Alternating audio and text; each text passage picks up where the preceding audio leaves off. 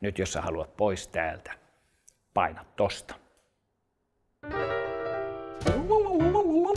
Uusi Suomen rakastetuinta koomikkoa kokoontuu saman pöydän ääreen käymään läpi uraansa ja elämäänsä. Me mennään sinne vaan nauttimaan ja katsotaan mitä se tilanne tuo tullessaan. Niitä ei tarvitse muuta kuin laittaa hassuhattu päähän, niin ne on jo hauska. Tämä oli hieno asia, mitä muuralla tapahtui. Ja tietysti pitämään hauskaa. James potkukelkan muistoa kunnioittain.